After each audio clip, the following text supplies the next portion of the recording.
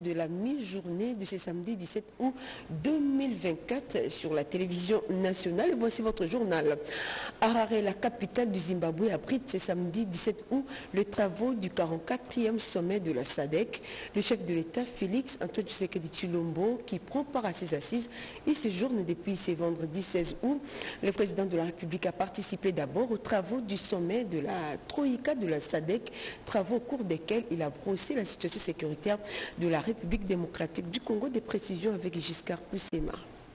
C'est ici, au nouveau siège du Parlement de la République du Zimbabwe, que les 44 chefs d'État et de gouvernement de la communauté de développement de l'Afrique australe SADC vont participer ce samedi au 44e sommet des chefs d'État et de gouvernement de cette institution sous-régionale.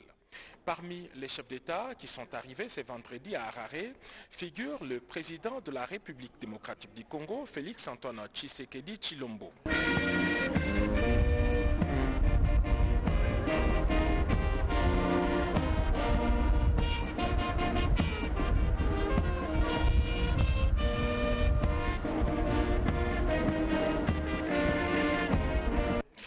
Après les cérémoniales d'accueil à l'aéroport international Robert Mugabe d'Harare, le chef de l'État s'est dirigé ici au siège du Parlement pour participer au sommet de la Troïka qui a ouvert ses travaux cet après-midi.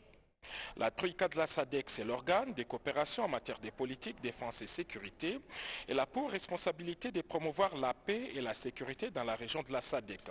Il agit comme chef de file pour des questions de menaces de paix à la sécurité et à la stabilité dans la région et fournit aux États membres les orientations à suivre à cet égard.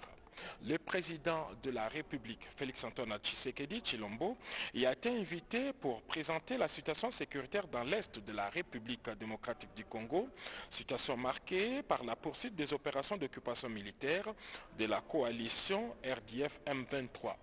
Dans cette séance à huis clos, les chefs de l'État devront aussi donner des informations actualisées sur les déploiements de la SAMI DRC, la force militaire de la SADC.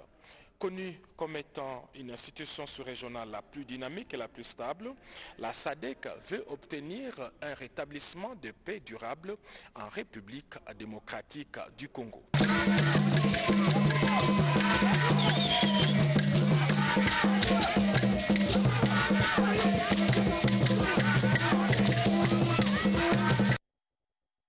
Avant de s'envoler pour les Zimbabwe, le président de la République, Félix Antoine Tshisekedi Chilombo, a présidé la traditionnelle réunion du Conseil des ministres. La situation socio-économique et sécuritaire a été passée au peigne fin. Nous revenons sur cet extrait du compte rendu de la dite réunion rendu par le porte-parole du gouvernement, Patrick Mouyaya. Le deuxième point de la communication du président de la République, lu par la première ministre, a porté sur l'envahissement de emprises ferroviaires de l'ONATRA. Le président de la République a été saisi d'une alerte lancée par la Direction générale de l'Office national de transport au vice-premier ministre, ministre de Transport et Voies de communication, faisant état de la situation critique d'envahissement des emprises du complexe ferroviaire délimité d'une part et l'ensemble de la ligne Kinshasa-Matadi d'autre part. Cette situation est récurrente et l'ONATRA a du mal à la résoudre depuis des longues années, ce qui constitue une problématique structurelle de son fonctionnement opérationnel qui risque de pénaliser lourdement la relance de ces exploitations ferroviaires. Pour y faire face, plusieurs décisions et mesures ont été prises notamment par l'autorité provinciale de Kinshasa, allant jusqu'à la démolition de constructions anarchiques érigées dans les espaces dédiés à l'exploitation ferroviaire. Ces efforts ont été annihilés par la réinstallation répétée des spoliateurs sous des prétextes fallacieux alors qu'il s'agit des espaces relevant du domaine public de l'État, réputés inaliénables et incessibles selon la loi. Dans les soucis de protéger les emprises ferroviaires concernées, le vice-premier ministre, ministre de Transport ainsi que le ministre du Portefeuille ont été instruits à se pencher sur ces dossiers afin de proposer au gouvernement des mesures susceptibles de mettre définitivement fin à cette situation qui a trop perduré. Cela va sans dire qu'un état des lieux exhaustif est à réaliser pour des dispositions adéquates. Le président de la République a demandé un rapport d'exécution de la présente instruction dans les 14 jours au Conseil des ministres. Sur la problématique de la lutte contre l'insécurité, les embouteillages et l'insalubrité dans la ville-province de Kinshasa, la Première ministre a précisé qu'elle a réuni les ministres sectoriels concernés ainsi que le gouverneur de la ville de Kinshasa. Une série d'actions à court, moyen et long terme a été envisagée et certaines sont déjà en cours d'exécution. Elle a conclu son intervention en demandant au ministre de budget et celui des Finances de s'assurer que le gouvernement s'acquitte de sa part dans la consolidation du processus de désengagement de la MONUSCO à Bukavu à la suite de la feuille de route des activités établies par l'équipe intégrée provinciale de transition. Voilà, c'est plutôt la première ministre, chef du gouvernement, Judith Suminois, qui a présidé la réunion du Conseil des ministres de ce vendredi 16 août. Le coordonnateur national du programme de désarmement, démobilisation, relèvement communautaire et stabilisation a échangé avec le gouverneur honoraire du site Kivu, Maître Claude Nyamugabo, sur les différentes missions du PDDRC. Suivez. S'enquérir de l'état d'avancement du programme de désarmement, de mobilisation, relèvement communautaire et stabilisation au PRDRCS, tel est le but de la visite du notable gouverneur honoraire du Sud Kivu, maître professeur Claude Nyamugabo. Ce dernier a été reçu par le coordonnateur national ad intérim de PRDRCS, M. William Kapuku Bois, à côté de son adjointe, le coordonnateur chargé de l'administration et des finances, Mme Sylvie Kayomo Bay. Les trois personnalités ont fait un état de lieu sur les questions des groupes armés et ont parlé des activités menées dans les trois provinces de conflit, à savoir Nord et Sud Kivu et la province de l'Itourie partager son expérience en tant que notable et gouverneur honoraire, maître professeur Claude Nyamugabo a promis de travailler en étroite collaboration avec l'équipe du PDRCS et d'être leur ambassadeur. Je suis prêt à accompagner le grand travail qu'ils font pour euh, que les groupes armés euh, cessent dans notre pays. Nous n'avons pas besoin de groupes armés, nous avons besoin de militaires de FRDC reconnus par la République pour défendre notre pays et ceux qui sont dans les groupes armés devraient revenir à la vie normale, mais il y a un travail à faire et ce travail implique non seulement l'équipe à Kinshasa, mais également les notables ainsi que toute la population sur terrain. Initiative louée par l'équipe dirigeante du PDDRCS. Je crois qu'il va nous aider à accomplir la vision du chef de l'État, puisqu'il connaît bien euh, la province du Sud Kivu et étant notable, euh, c'est déjà, euh, nous disons, notre ambassadeur pour que nous puissions avancer avec ce programme. Ensemble, ils accompliront la vision du chef de l'État, celle de la stabilisation de l'Est du pays. L'arrêt des travaux de construction de la centrale solaire à Bassankoussou préoccupe au plus haut point le chef de l'exécutif provincial de l'Équateur. En séjour à Kinshasa, le gouverneur Bobo Boliko s'est rendu à l'Agence nationale de l'électrification rurale pour s'enquérir de la situation. Les détails avec Ramazani Moulana. Dans la matinée de jeudi 15 août 2024, le gouverneur de la province de l'Équateur est venu à la rencontre de l'ANSER pour s'enquérir des raisons de l'arrêt du projet d'électrification actuellement exécuté dans leur province. Pour rappel, dans les comptes de la mise en œuvre de la vision du président de la République et chef de l'État Félix Antoine Tshisekedi sur l'impérieuse nécessité de l'accès du Congo profond à l'électricité, l'ANSER, parlant de son programme d'investissement prioritaire, a lancé depuis le second semestre de l'année 2023 les travaux de construction d'une centrale solaire photovoltaïque pour l'électrification des Bassankoussou dans la province de l'Équateur. Aux interrogations et inquiétudes des députés de l'Équateur, M. Camille Kabasele a opposé la bonne volonté de l'ANSER et du secteur privé exécutant les projets qui malheureusement sont butés aux problèmes de financement. En effet, le décaissement des financements pour assurer la relance et parachèvement est encore attendu du gouvernement. Rassurés par les engagements des PCA de l'ANSER, les députés du caucus de la province de l'Équateur ont quitté l'ANSER déterminés à faire entendre leur voix auprès des financements prioritaires des projets touchant à l'accès au Congo rural de l'énergie électrique. La République démocratique du Congo sera bientôt la plaque tournante dans le stockage des données sur Open Access Data Center Kinshasa, un vaste centre d'échange des données via les autoroutes informatiques. Les détails dans ce reportage. Il s'agit d'un centre de classe moyenne lancé à Kinshasa. Open Access Data Center OADC Texaf Digital Kinshasa est ce méga centre de données construit dans le but de répondre à la demande croissante dans la région en tant qu'écosystème pour permettre aux opérateurs des télécoms, fournisseurs d'accès Internet, aux collectivités, institutions politiques et financières de fournir les plus hauts niveaux d'opérations et services clients en République démocratique du Congo. L'ouverture de ce data center est en fait une des conditions pour la création et le développement d'une économie numérique euh, en RDC. Et c'est bien d'ailleurs ce qu'a voulu le président de la République en inscrivant l'ouverture de data centers au Congo comme une des pierres angulaires de ce plan. C'est un premier pas pour la RDC. Vous regardez les, les vidéos en YouTube ou vous browsez sur les websites ou vous écoutez de la musique, tous ces, trucs sont hébergés dans des serveurs. Et ces serveurs sont hébergés dans des. À l'heure de la révolution numérique, la République démocratique du Congo peut compter sur le Open Access Data Center d'Exaf Digital à Kinshasa, un centre neutre des classes mondiales qui offre 1000 mètres carrés d'espace blanc informatique flexible. Cette infrastructure constitue la première étape du déploiement d'un réseau panafricain évalué à près de 500 millions de dollars américains et il est un ensemble de plus de 20 centres de données en accès libre construits selon les normes requises. La demande croissante dans la sous-région de ce type d'infrastructure place la RDC en pole position dans la réduction de la fracture numérique avec l'arrivée de deux nouveaux câbles sous-marins, Equano et Africa. Les jeunes sont appelés à intérioriser les notions liées à la santé sexuelle. Voilà pourquoi CAFCO, en collaboration avec ses partenaires, a initié et organisé l'atelier sur cette thématique pour une bonne éducation sexuelle en milieu des jeunes, nous rapporte Chimène Dondo.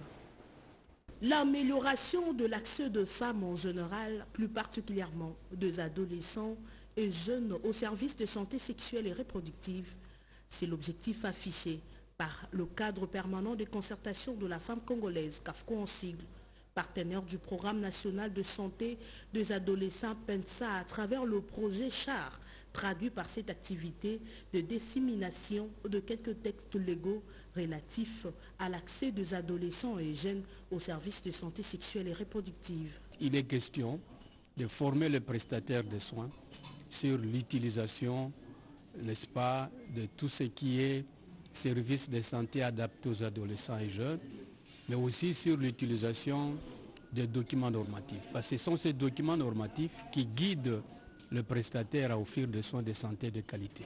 Une activité qui a permis également de vulgariser le fiche technique sur le service de santé adapté aux besoins des adolescents et jeunes. Au moment où nous nous retrouvons dans cette salle, c'est pour qu'ils puissent vulgariser ces deux documents. Donc les outils qui serviront aux prestataires des, des services de bien rendre service aux adolescents et jeunes qui vont se présenter dans les formations sanitaires.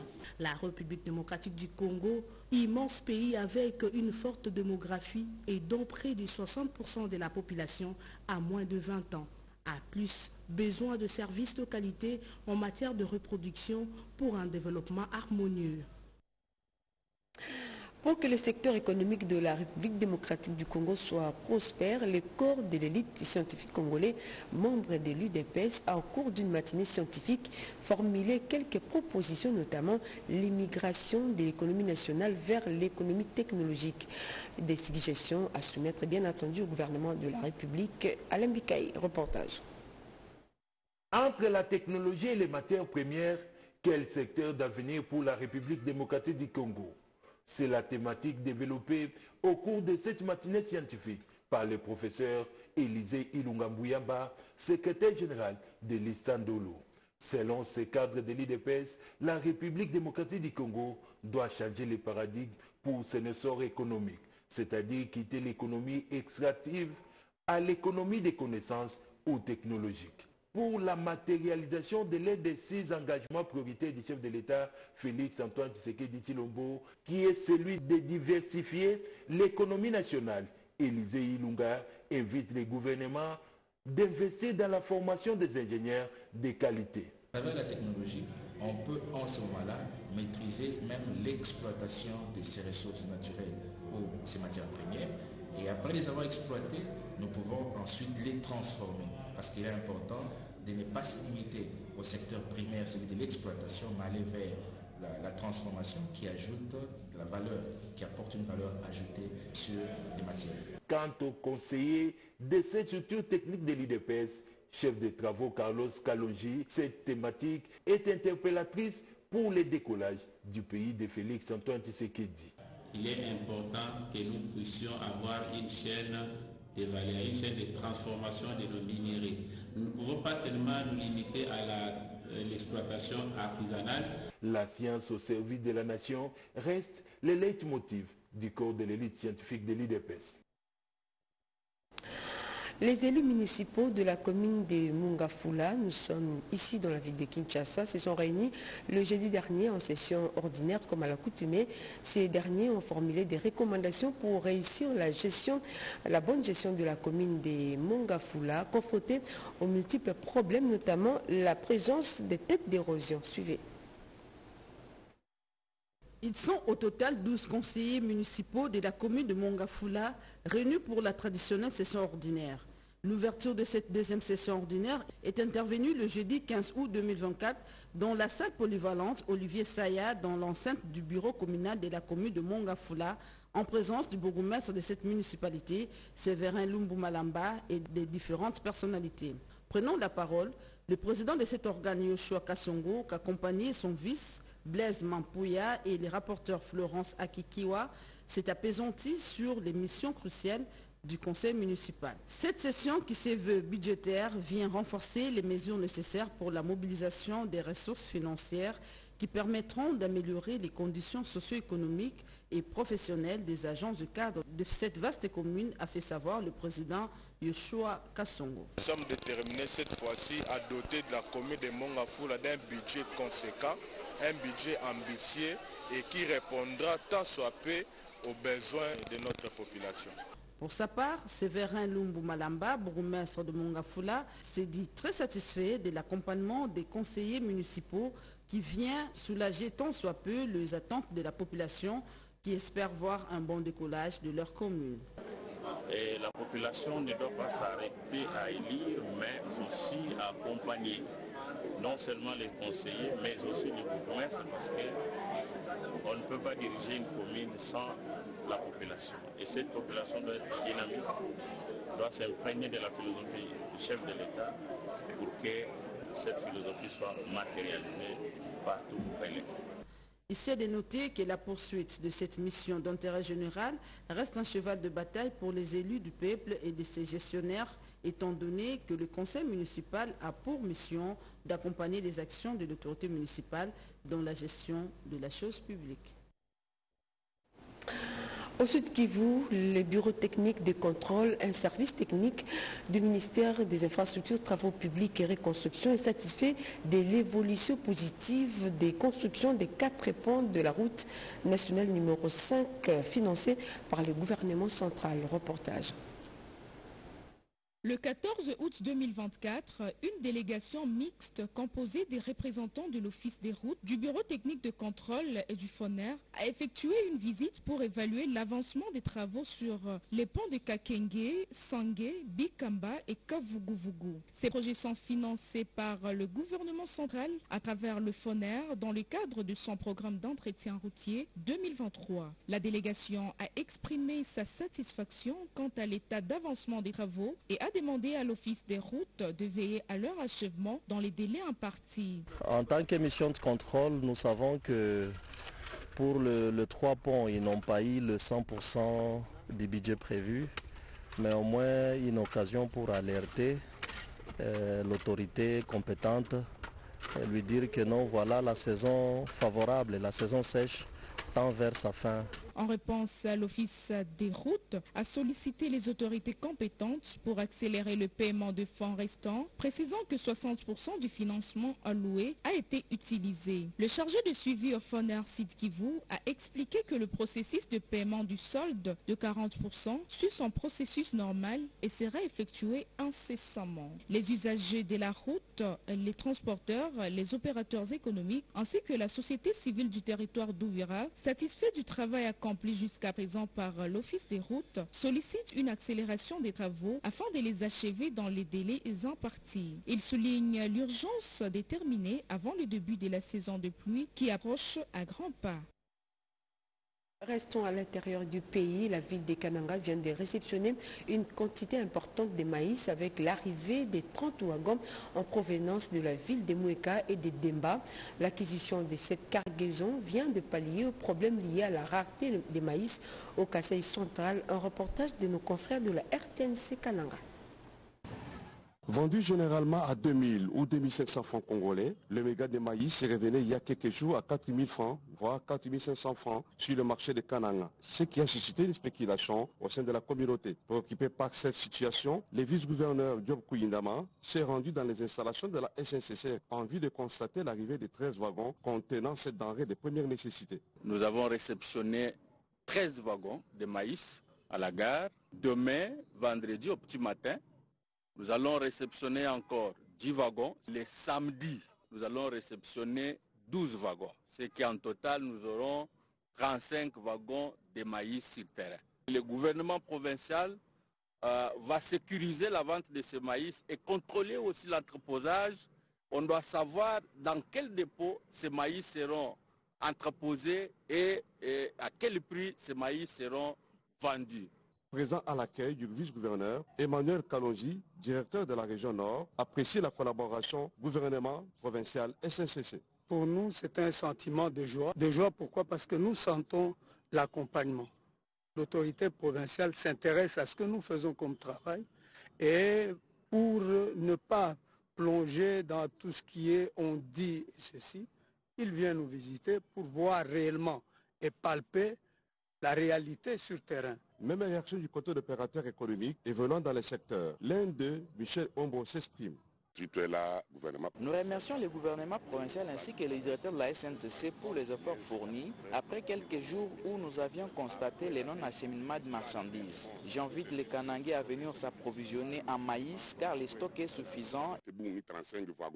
Après la gare SNCC, le vice-gouverneur s'est rendu au marché Ofida et Kachama où il a communiqué cette bonne nouvelle aux marchands.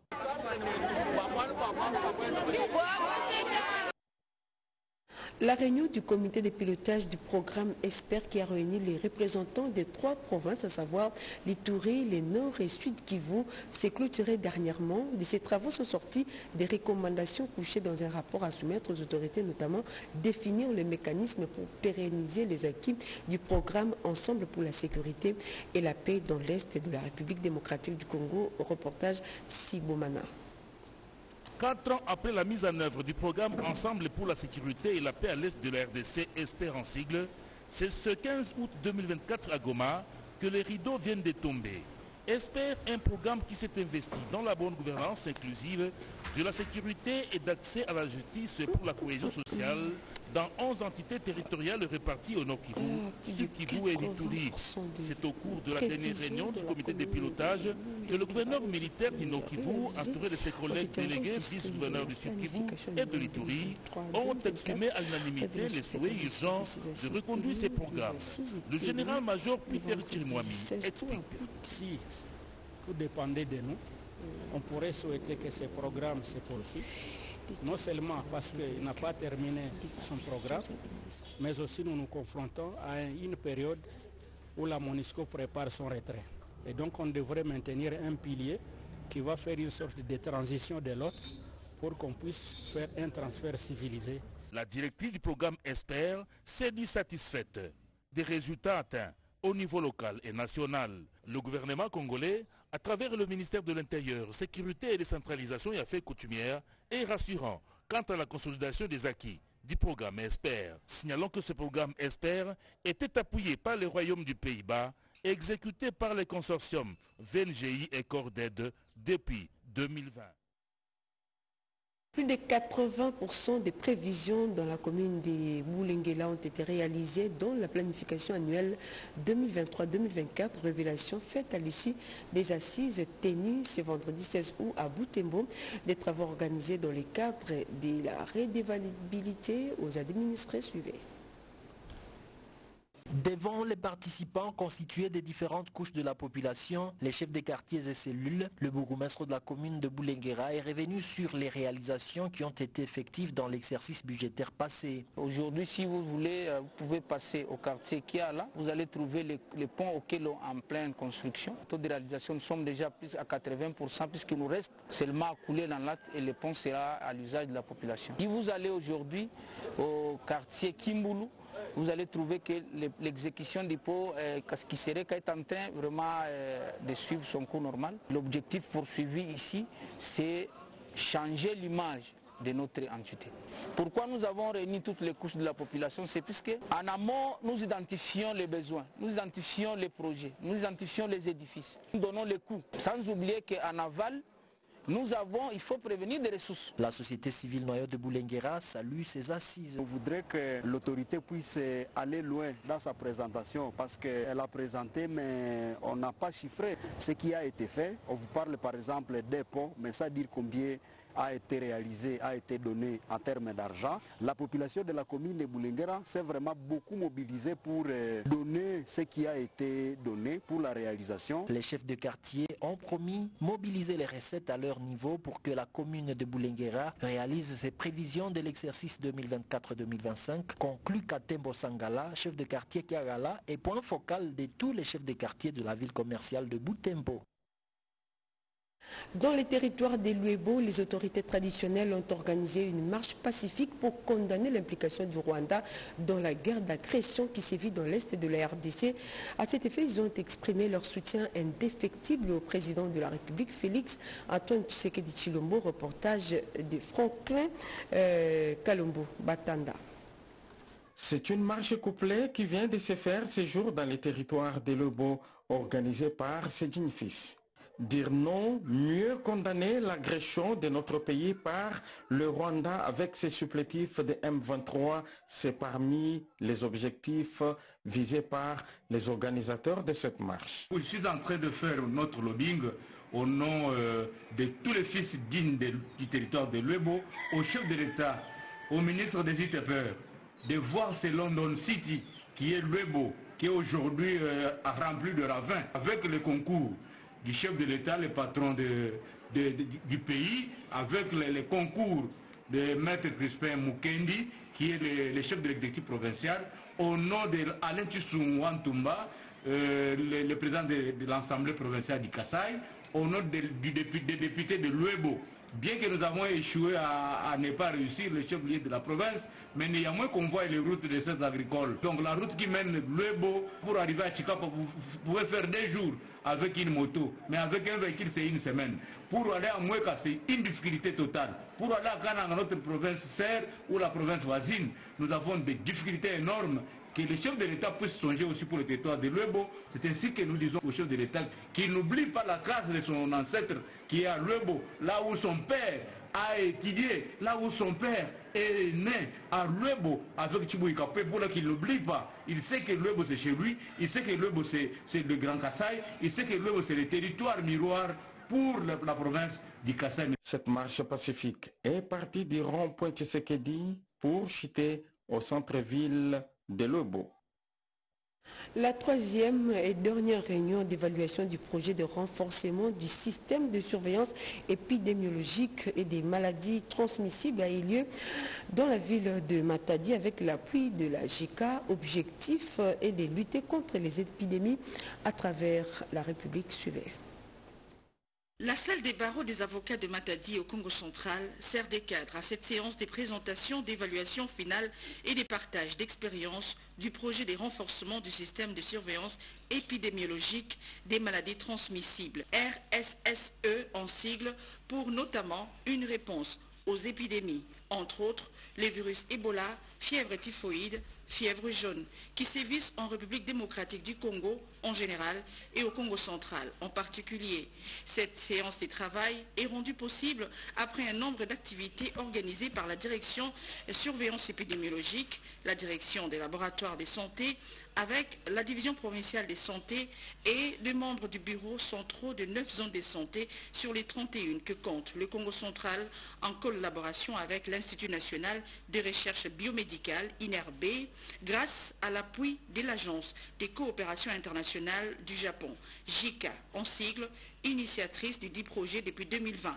Pour cette troisième et dernière évaluation du projet RSSE, le bilan est satisfaisant. C'est un très bon projet pour euh, la province, dans la mesure où nous avons vu un certain nombre de nos indicateurs clés s'améliorer progressivement. Il y a eu beaucoup d'innovations. Le projet a été conçu avant, mais le projet s'est adapté par rapport aux grandes orientations de l'Organisation mondiale de la santé. L'organisation est contente du déroulement de cette activité. Euh, le résultat était très satisfaisant, ça m'a encouragé. Ces connaissances seront restituées aux autres zones de santé de la province. La présentation des expériences du dit projet par chaque zone de santé concernée ainsi que l'élaboration d'une feuille de route sanctionne ces travaux. Le gouverneur de la province du Lalaba, Jacques Kiaboula, s'est entretenu avec le directeur général de la régie des voies aériennes, Léonard Ngoma, sur les possibilités et les procédures devant aboutir à la modernisation de l'aéroport de Lubumbashi, et cela dans un temps record. Aussitôt arrivé à Kolwezi, le ministre de Mines a rencontré la gouverneure Fifi Masuka Saini et tous les acteurs œuvrant dans le secteur minier. Cette visite permet au ministre de Mines de faire l'état essentiel, lieu de son secteur. Il a apprécié les infrastructures modernes bâties conformément aux vœux du chef de l'État. Kizito Pakabomba a rassuré les miniers de sa politique de promouvoir des contrats mutuels avantageux. Nous sommes euh, dans une mission d'itinérance euh, qui passe euh, actuellement par le Lualaba dans le cadre du secteur minier. Vous savez que le secteur minier est un pilier important pour l'économie nationale. C'est un secteur qui contribue à la création d'emplois. C'est un secteur qui contribue fortement au budget national mais également c'est un secteur qui, apporte le, développement et le, bien-être de nos communautés. Donc dans ce sens-là, il est important pour moi de, passer par ici au, niveau de, de euh, pour euh, m'assurer que les choses se passent dans ce sens-là. Donc nous avons échangé avec euh, son Excellence Madame la Gouverneure sur les progrès connus ici au niveau de, de la province du Doualaba des progrès visibles. Les séjours du ministre de Mines au chef-lieu de la province minière du Lualaba prévoient des séances de travail dans les entreprises relevant de son secteur. Voilà, nous sommes allés trop vite. Vous venez là de suivre l'audience qu'a accordée la gouverneure de la province de là-bas. Allons maintenant au, Katanga, où le gouverneur de la province, Jacques Kiaboula, s'est entretenu avec le directeur général de la régie des voies aériennes le jeudi dernier à Kinshasa. Échange axé sur les procédures devant aboutir à la construction dans un temps record d'un nouvel aéroport à Lubumbashi. Le gouverneur de province, Jacques Kaboula est déterminé à doter la province du Haut-Katanga d'un aéroport moderne et digne de son potentiel économique. C'est dans ce cadre que le chef de l'exécutif provincial a rencontré le directeur général de la régie des voies aériennes, Léonard Ngomambaki, au siège national de la RVA à Kinshasa-Ndolo. Jacques Kaboula est allé s'y renseigner de la procédure à suivre avant de lancer ce vaste projet qui rentre dans la vision du chef de l'État Félix Antoine Tshisekedi Chulombo, notamment celle de moderniser toutes les infrastructures de la province. Comme vous le savez, l'aéroport est par la RBA, ce n'est pas un domaine de la province. C'est pour ça que nous sommes de voir ça juste parce que premièrement, euh, c'est pour revoir la vision du chef de l'État, d'expertise pour moderniser nos infrastructures, euh, mais aussi de prendre aux besoins de la population locale et à tout prix voir ces projets se concrétiser. Le gouverneur du Haut-Katanga a aussi rassuré qu'une fois la procédure aboutie, le nouvel aéroport va se construire en un temps record et donnera une autre image de la province en particulier et du pays en général. Voilà, en nouvelle, en sport, ce week-end s'ouvrent les interclubs de la Confédération africaine de football pour la session 2024-2025. Quatre clubs congolais y sont engagés. Il s'agit du tout-puissant Mazembe, de l'AS Maniema Union en Ligue des, Champions et du FC Saint-Éloi Lupopo ainsi que de l'SV Club en Coupe de la Confédération. Le ministre des Sports et Loisirs, Didier Moudimbo, exprime à travers ses messages l'inconditionnel soutien du gouvernement de la République à nos clubs et leur assure quant à l'accompagnement de l'exécutif national durant leur parcours. Madame, Messieurs, c'en est fini avec cette session d'information. Merci à vous de l'avoir suivi. Merci à toute l'équipe technique. L'information continue sur nos antennes. Restez branchés.